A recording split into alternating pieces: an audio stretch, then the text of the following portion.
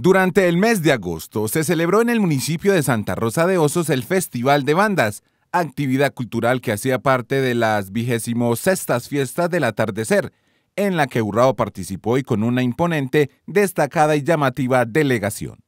Tuvimos el privilegio de que Urrao llevara una de las bandas. Aquí hubo una delegación en las fiestas del Cacique Toné y les pareció que las bandas de Urrao tenían buen nivel para estar en ese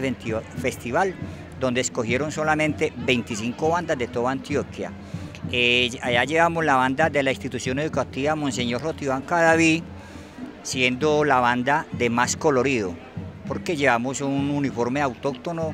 con referencia al cacique Toné. Con un uniforme tradicional de nuestro municipio que representa la identidad de nuestras propias festividades, pero también de la historia local, la banda músico-marcial que nos representaba causó furor y marcó la diferencia con el resto de los participantes. No, es un trabajo muy bonito, es un arduo, porque son aquí, Urrao tiene actualmente seis bandas, y entonces siempre eh, durante todo el año participamos en todas las actividades,